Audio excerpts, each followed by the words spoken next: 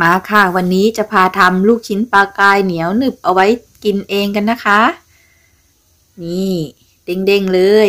ตามไปดูกันเลยค่ะ เนื้อปลากายนะคะ ครึ่งกิโลค่ะ เกลือ 1 ช้อนชา ผงชูรส 1 ช้อนชานะคะ พริกไทยป่นอีก 1 ช้อนชาค่ะ แล้วก็น้ำเปล่านะคะ ครึ่งถ้วยตวงค่ะ เอาเกลือกับผงชูรสลงไปคนให้ละลายเลยนะคะ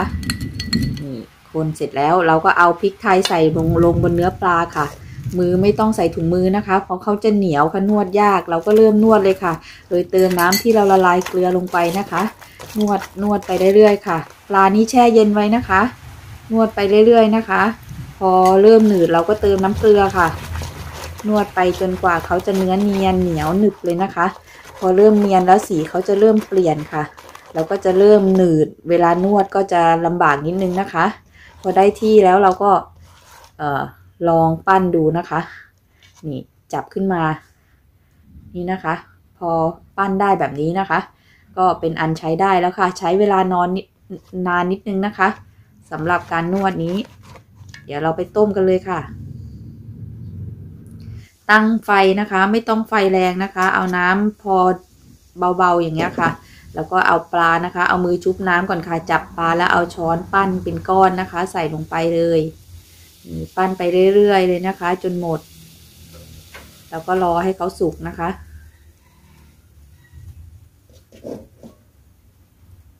พอเขาสุกได้ที่แล้วเขาก็จะลอยขึ้นมาแบบนี้ค่ะ เราก็ตักขึ้นนะคะ ตักขึ้นแล้วก็น็อกน้ำเย็นเลยค่ะ